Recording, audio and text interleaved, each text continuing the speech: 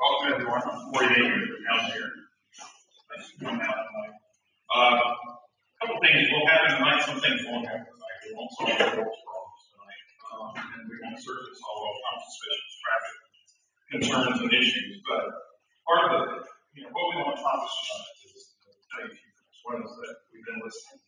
That thoroughfare planning is important.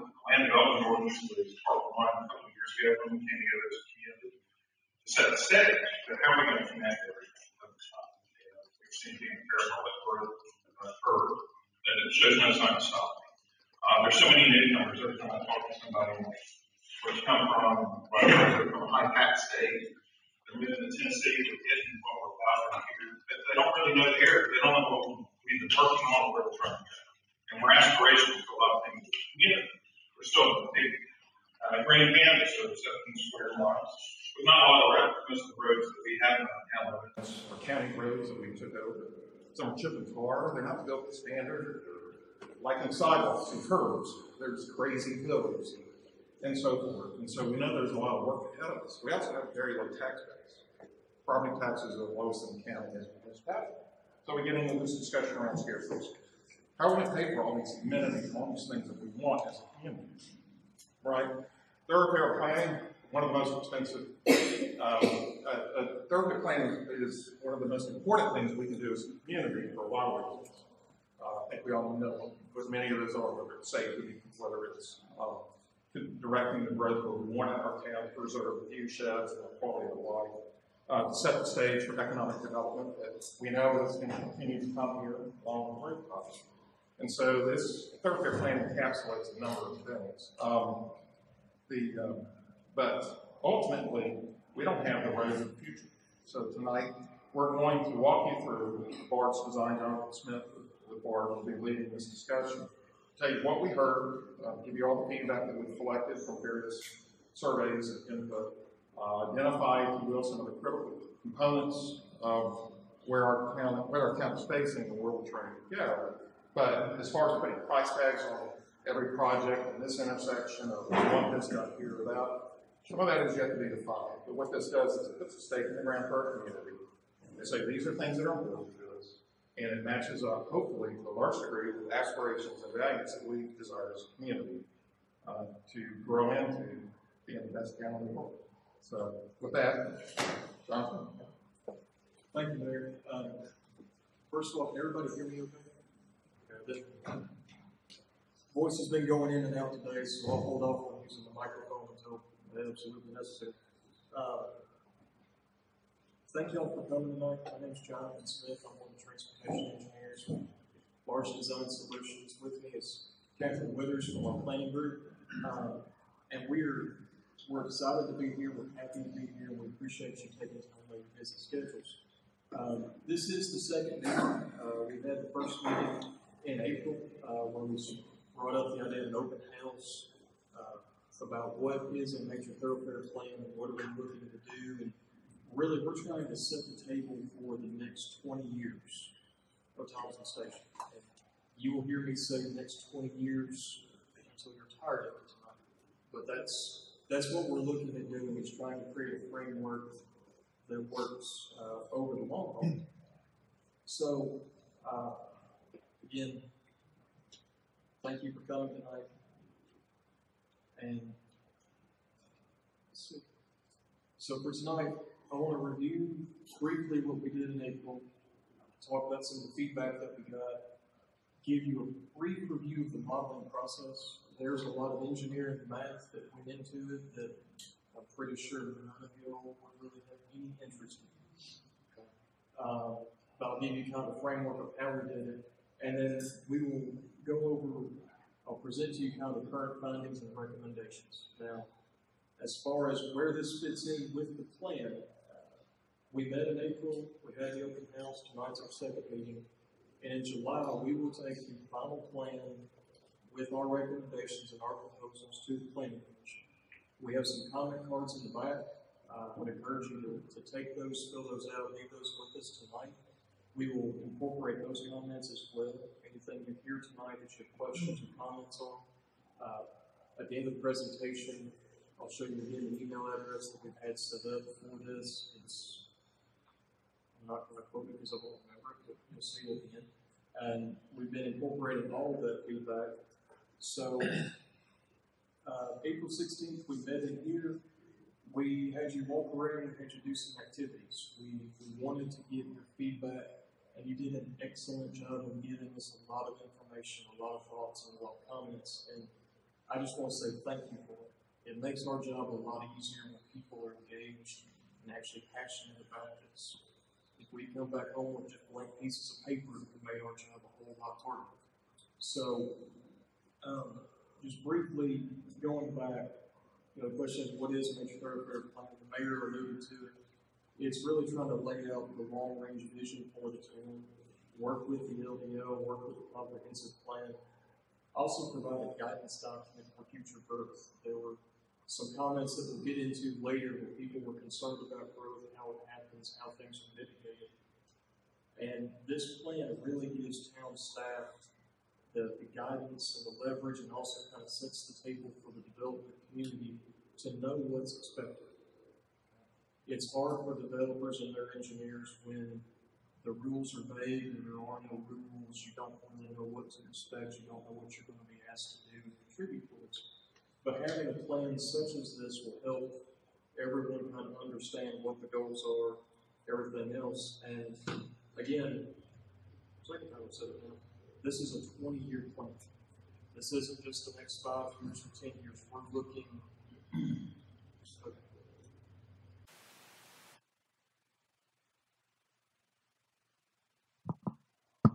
Is that better? Oh, goody. Um, told you. Cutting grass and painting my house, my voice is shot. Um, so, uh, how many of y'all were here in April? These pictures should look real familiar to you. Um, these were some of the, the activities that we asked you to do, and you did, like I said, you did a great job on them. And this was the one where we asked you to put a dot on a map anywhere you had an issue, concern, question about the town's transportation system. And you know, you can look at the map and there's some consistency with the dots and where they are and the roads that they're on. Now, y'all can also understand the comments varied from dot to dot to some extent. Um, and we'll get into that a little bit later. But we we boiled, and this was the one of the maps that we went home with, dots and sticky notes, and we went through all of that, and we we broke it down into generally these categories. This was both the the dot map, the fill in the blank comments, the emails, the comment cards, everything kind of boiled down to this pie chart. Um, now, there were a lot of comments that were not exactly really focused on the transportation plan. Some were neighborhood specific. There were a lot about the town center and things like that. Um, we've incorporated those, we've got a record of those, but the ones that really pertain to the transportation system, the two that stood out the most were people had concerns about roadway safety, intersection safety, and the capacity of the system.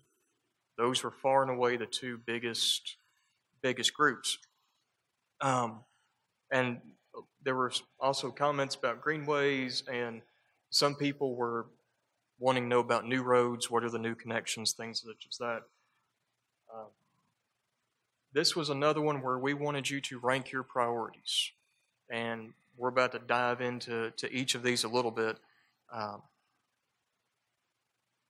the way we set these up, it was almost an either or, depending on where you fit left to right on these. Now, the first two, we tried to give you an either or question, and you gave us yes as an answer, which is fine. I mean, y'all were pretty much pretty much split between you know faster access to things inside of town or going to regional destinations. Okay, um, there there is a, a stronger component for maintaining some of the rural character, but then there were also people who were wanting slightly different roadway characters with curb and gutter, sidewalks, greenway trails, such as that. We hear you. Okay, and we'll we'll get into that a little bit later.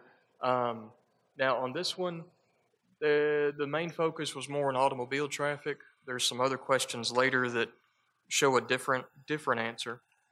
Um, but we, we asked you to identify some of the focus areas, things you're concerned about.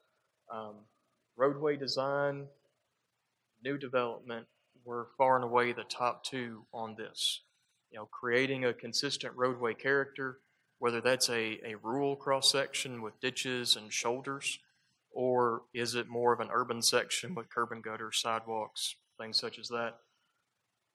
There is a large concern about mitigating the impacts of development.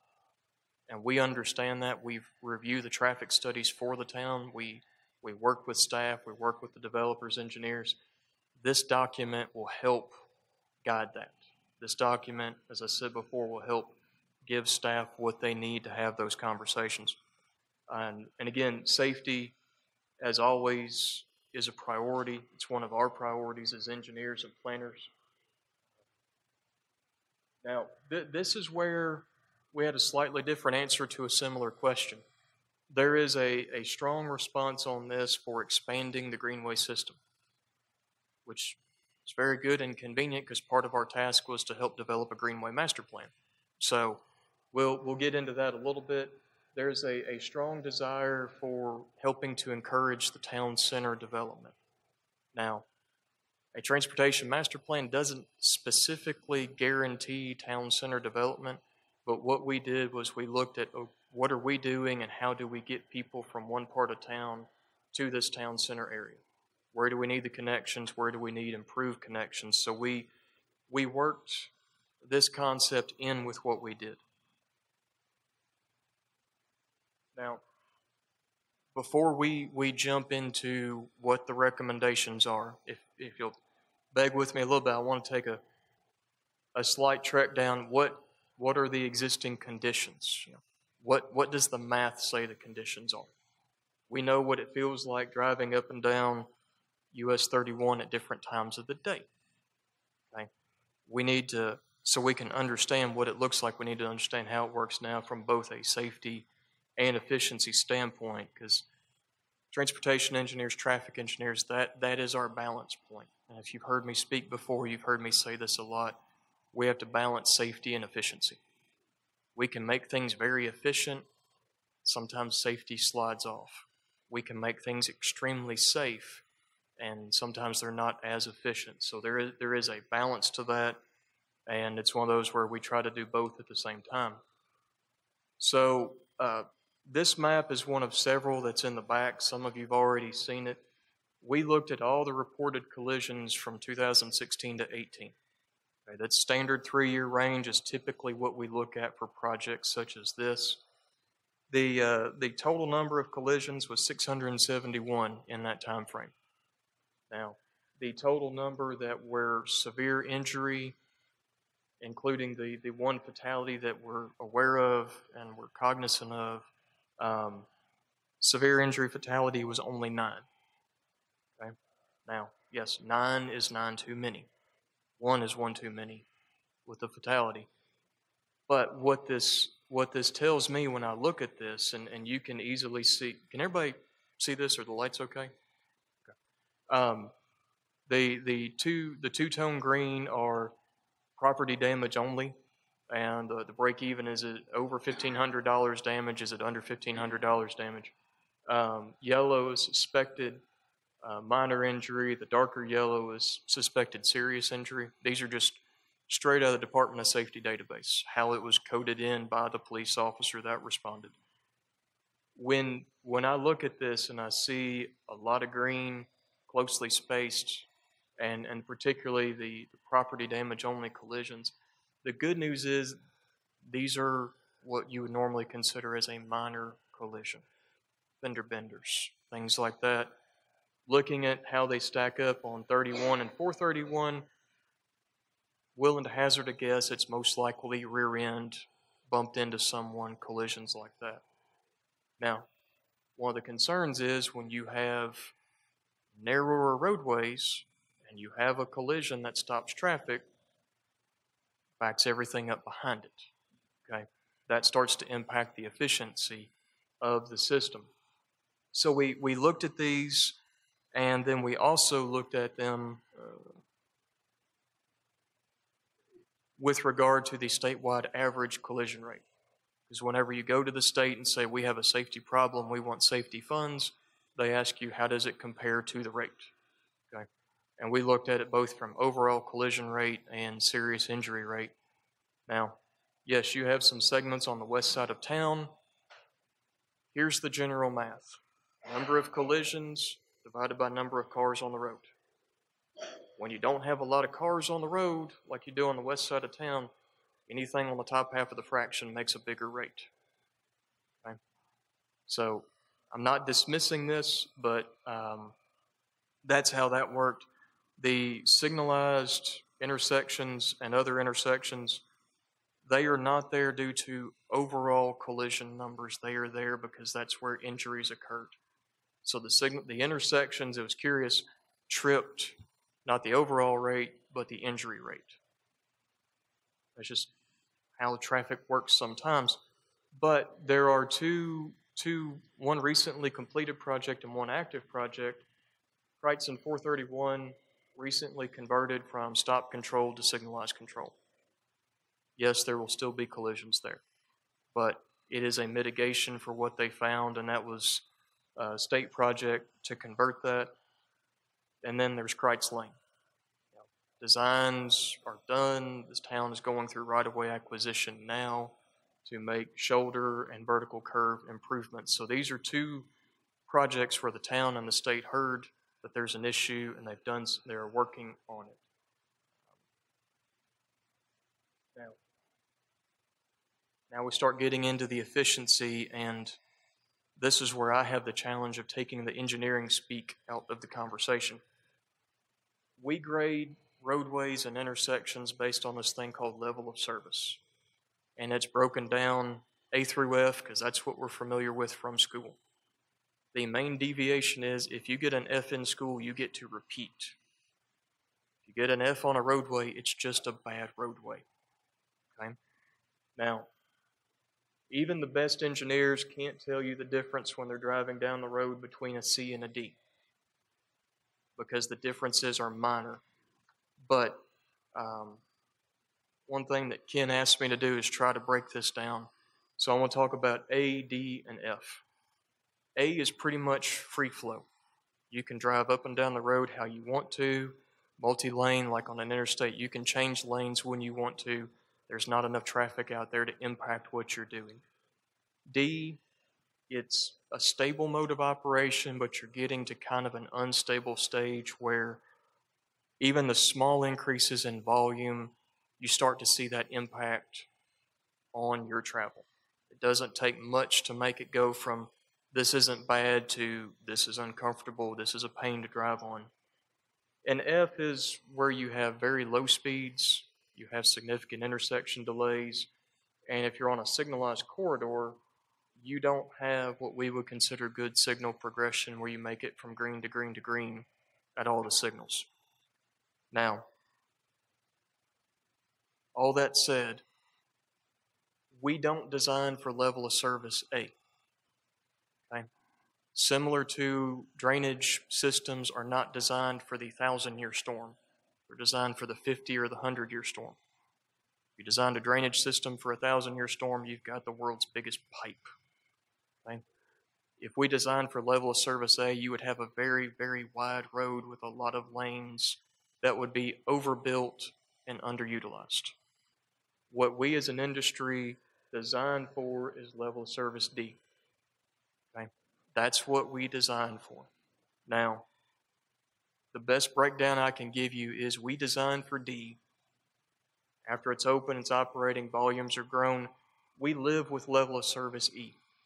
We make our peace with that. So we design for D, we live with E, when we see it go to F, that's when we fix it. So, kind of the mantra I've had to have is you design for D, live with E, fix the Fs. So that's, you'll see how that plays in in the graphics here in a little bit. Um, and, you know, we're, we're all familiar with Google Maps and it shows the backups and the queues and the delays. Just because these are color coded a certain way and you know, I don't think it's a surprise that this part of Columbia shows up as an F. If you drive on it during certain times of the day, you experience it. Um, this part is also an F, but, and you'll see it on the maps in the back, this section has a different color.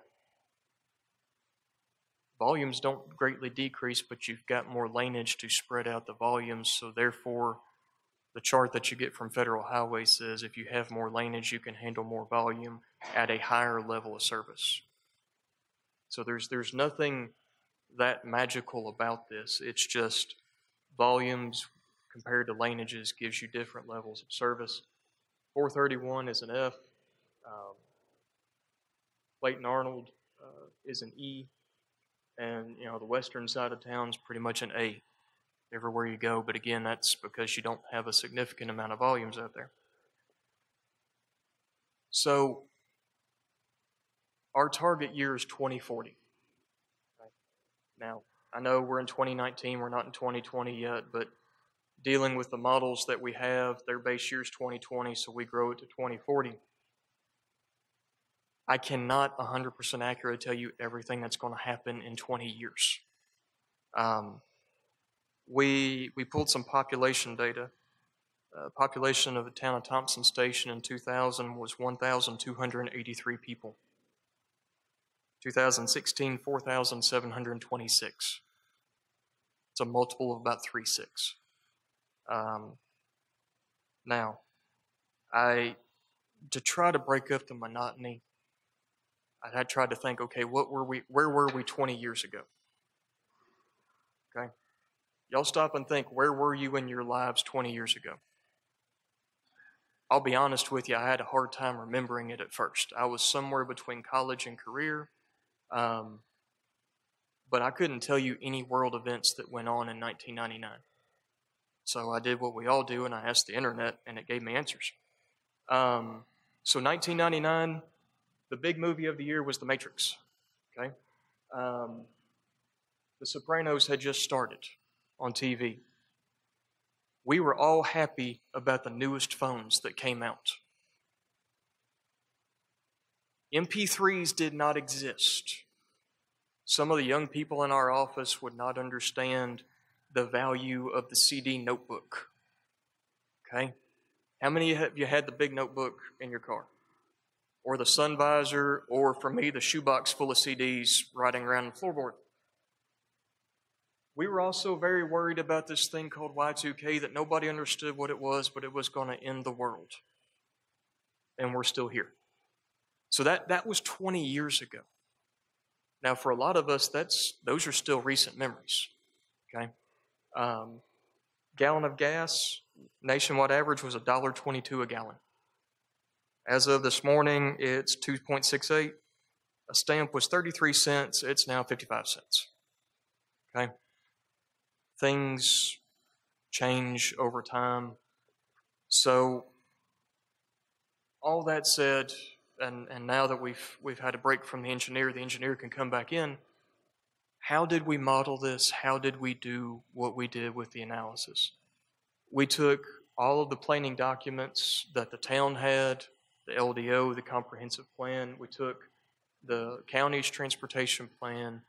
We took the available volumes that we had, the recent counts, the developer's traffic studies. We looked at the collision data from the Department of Safety. We reached out to the regional planning organization, which is called the Greater Nashville Regional Chamber, and they are the they are the keeper of the travel demand model, the model that all local agencies use to distribute and predict traffic over time. There were not a lot of small node area growth rates established in that model because they have just been modeling Thompson Station as part of the county. So what we did was we took their model and their growth rates and then we broke it down corridor by corridor to make it tailored to the town. That way we didn't just apply a blanket growth rate to everything in the town because there's some parts of town that couldn't handle just a blanket growth rate because they're already developed. There's others where based on what we knew of the growth plans and everything else, it needed to be needed to be a little bit more fine tuned. So that gave us volumes, that gave us distributions. We then applied them to the existing roadways. And we said, okay, we want to look at, at the year 2040 for the existing roadway network plus everything that is committed. Now, for us, committed is a very, very specific and serious word. Committed means there is money tied to that project. Okay? It's not, this is a concept, this is a sketch, this is an idea, this is one that has federal or state dollars tied to it, and it is waiting to be bid. Um, the reason I went on that rant, um, as of right now, the, the interchange that everybody knows about down here is not a committed project. We are all 90 plus percent sure that's going to happen. But we wanted to look at it from apples to apples what's existing, what's committed, what can we guarantee is going to happen. We never know with the feds and the Fed money what could happen. I'm pretty sure that one's going to happen. Um, so, you know, if you remember, the roads, the roads decrease in their level of service, and here, here it is. I mean, here's 2018, here's 2040. Columbia, yeah, it's still an F. Um, Thompson Station gets worse. Everything generally gets worse, but it's volume, it's increase, it's both development outside of the town, it's also development inside of the town over 20 years.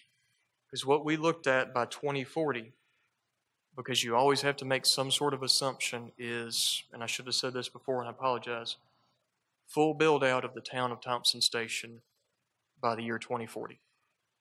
Okay? That is, from our perspective, a conservative approach. It's also the worst case for traffic. Okay? Worst case for traffic is everything's built, everybody is here that's going to be here from the development and the and the nearby area.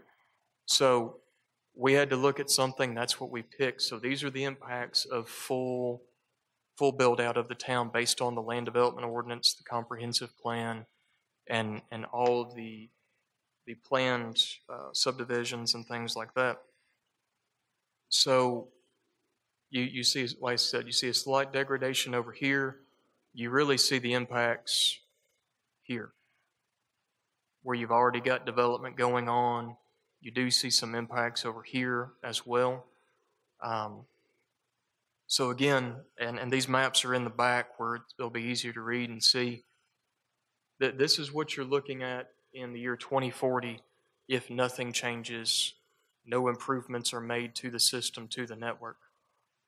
So, um, here's probably why most of y'all are here. This is these are our proposed improvements by the year 2040. Now, you see the dashed lines are new roads. Please understand me when I say this, because this is one of the most important things I think I can say tonight. Everything we are proposing as a new road, and really even the road widenings that we're showing, are either done by development as the properties sell and develop, or done by TDOT, or the two roads that belong to TDOT, which would be 31 and 431. We are not proposing that the town do any of these road projects. These are only as development occurs, filling in the missing pieces, the empty sites. The developers would build the roads and the road connections. Okay? I know whenever we show a map like this, where we're showing roads where there are none, and particularly if people start looking at the roads and realizing where their houses are, that's a concern. It was a concern to me when our family farm in West Tennessee had one of these laid on top of it as well. But the only way this happens is as things sell and as things develop. So, this is what a lot of this is what would be on the developers to build. This just gives them the framework of the town will generally be looking at a connection from this point to this point sometime over the next 20 years as it develops. Does everybody get what I'm saying with that? That this is based on development build out. Okay. Now, we're showing two lane roads in purple, three lane in blue, and four lane in green. Let me also say, when we're talking about a three lane section, what we are saying is one lane in each direction and turn lanes where they're needed at the intersections. Maintain that narrower character, that narrower corridor, but when you get to the intersections, put in the turn lanes that you need to. So that's why we're keeping we're keeping Critz really as its existing two lane section, but we're going to put in turn lanes at the intersections where they're needed. All these new ones, same thing. One lane each direction, but put the turn lanes in at the intersection. Now, the elephant in the room to some people US 31, Columbia Pike. We are proposing widening Columbia Avenue. Okay? I've had this conversation with town staff, with the mayor. What we are proposing to do with this is a median divided four lane section. So you'll have two lanes in each direction and a grass or planted median going down the middle. Okay? Most people call that a boulevard or a parkway type streetscape. I've got some sketches later in here. The benefit of that is it gives you really the functionality of what people would think of as a five lane, because again, you have the two in each direction. Keep a median in the middle, control access, beautify the streetscape, keep some sort of a rural type character with that, with landscaping, but turn lanes at the intersections. Um, but again, we're we're trying to have that balance of providing extra capacity, providing extra safety with more laneage, giving you a chance to maybe spread out some of those long queues and those long trains of cars that get nose to tail and go down the road. We can give them more room to spread out. That queue should be shorter. Um, also gives you room to get away from a, a wreck or a collision if there is one. Um, but and this ties back into the concerns about safety and capacity. So, Columbia. This is what we have now. This is an overhead shot of pretty much the same area. And according to TDOT, and it's true depending on where you are on Columbia, you have a two foot shoulder. I'd say a max two foot shoulder. It's narrower in some places five foot bike lane, 12 foot travel lanes. Okay? That's, that's what it looks like when you're in the driver's seat. If you're a drone or a helicopter, that's what you see. Um, now, the, the edge to edge pavement width here is 38 feet. The right of way for most of Columbia is 66 feet. So TDOT has extra right of way out there don't have to get, they wouldn't have to buy, you know, a whole new one of these to put it right there. This is, this is the schematic of what we're looking at as a recommendation at this stage for Columbia in the future. Sidewalk on one side, street trees, grass area, two 11 foot travel lanes a 12 foot landscape median, 12 foot two 12 foot travel lanes, street tree. And then over here, we're looking at a, my eyes are bad, but I think that says a 12 foot path. That's the greenway. One of the things we're looking at doing is bringing the greenway up with the roads in places so you have that mixed use, you have the, the multimodal aspect to it. This is what we're looking at carrying forward as a recommendation to the Planning Commission. But again, there's comment cards in the back. Uh, Catherine and I will be here for probably half an hour or more after this if you have any questions you want to come up and ask us. Um, so this width, in case you're curious, is 82 feet, edge to edge.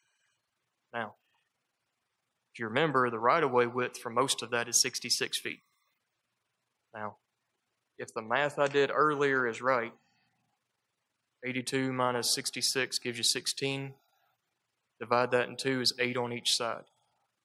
That means the right of way that TDOT would have to get is only another eight feet off each side of the road. Okay? I know there has been concern in the past of, particularly in every town we've worked with, when you start talking about a wider section, people have visions of runways and 747s. That's not what we're talking about here. We're talking about an extra eight feet off each side. Um, so again, here's what it is now. Here's a schematic cartoon example of what it could be in the future. If you want to see an example of what this looks like in real life, you don't have to go that far. Carothers Parkway in Franklin, south of Ovation Drive. This is what they have. They have a sidewalk on one side, they have a wide median in the middle, their greenway goes up the east side of the road. If you want to see what it feels like if you haven't, drive that. That's the best local example I know of right now to give you. Um, I drive it on a Saturday. It gets a little congested over here with the morning rush hour. Um, so, having said all of that, what does it get you? What does it get the town if these improvements move forward? Okay. 2040 projected with all the improvements. This does include the Buckner interchange down here. Okay, since we knew it was going to happen as we were going, th- well, 90 plus percent sure it's going to happen. Um, we took a look, we redistributed the volumes. You notice, there's no purple on this map. We are E or better on every roadway based on our volumes, distributions, and the way we we looked at everything. The the county had a plan for the roads of Evergreen and Sedberry to realign, straighten, take out some of the sharp curves. That was in the county plan. We brought it forward into this plan. Okay. Again, that's going to happen as development happens, most likely. There could be the opportunity for a partnership between the state, county, and town from a safety standpoint if they wanted to look at certain segments, certain areas. That could be something that is is undertaken. But you know, notice Columbia stays at an E. Um, a lot of the a lot of the things that degraded over here, we've we've brought back up. We've we've made them better with it's really due to the new connections and redistributing volumes on the new roadways. So this might be easier to see because you can see the change purple and red to red and orange and yellows. Um, again, these maps are in the back on those two tables. Um, and again, you know, the, these are just the, the infill of this area as the development occurs. So it's, it's mitigating their impacts and providing improvements to the town system. Um, so greenways, we, we, we mentioned them before. Y'all brought it up that this is a concern. This is something the town is interested in.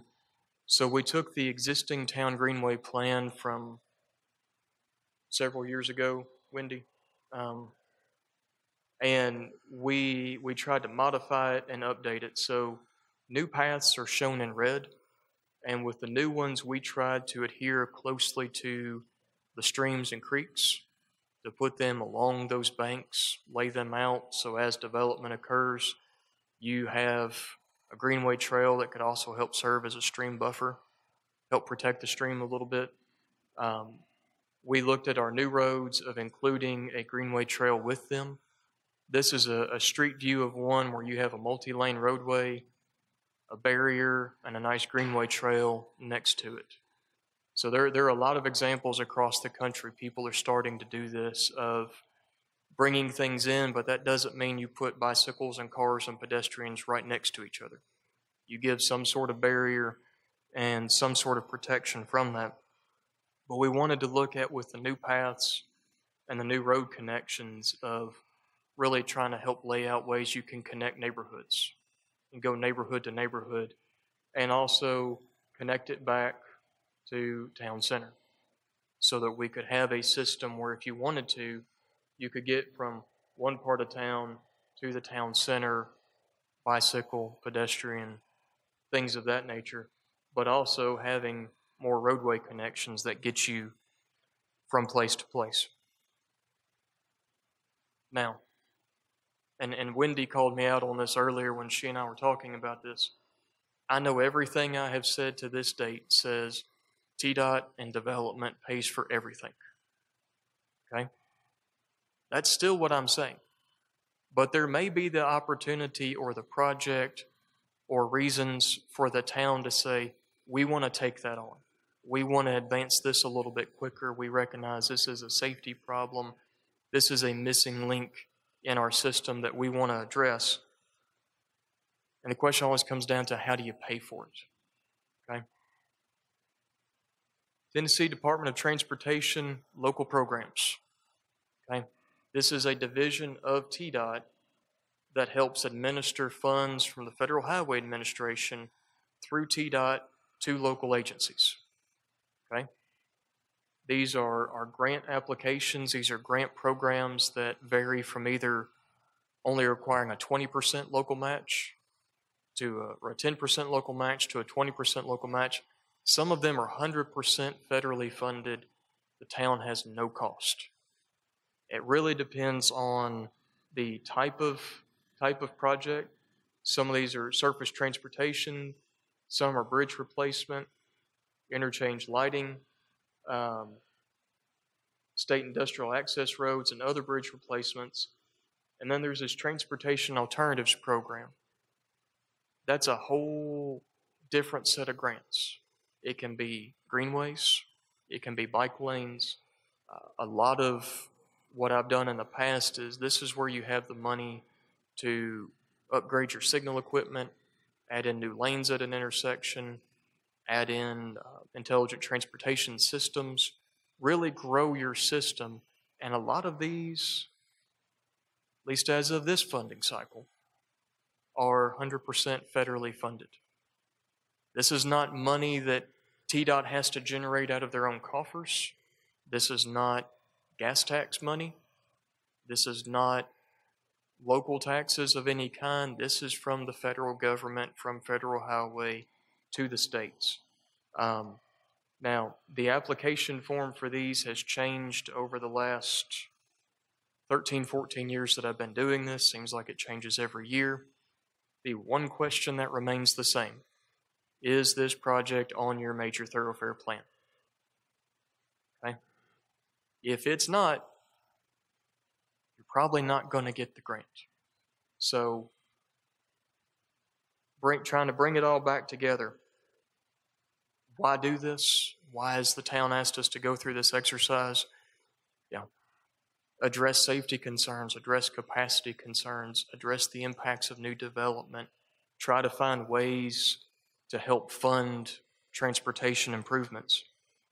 Um, so, where do we go from here? And I promise here in a little bit I will be quiet because I'm about to get into some cough drops. Um, we have some drawings in the back. We've got comment cards in the back. We will be making this a version of this presentation at the July Planning Commission meeting.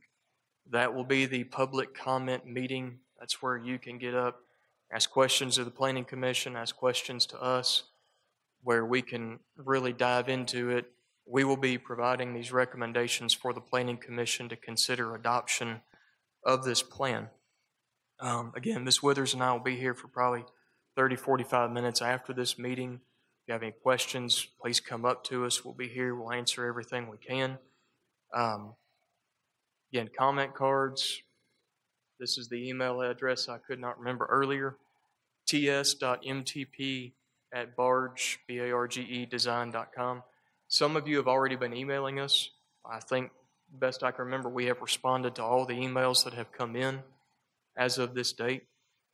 Um, but again, we'll be in the back of the room, we'll be up here, and I really appreciate it. Thank you all for your time.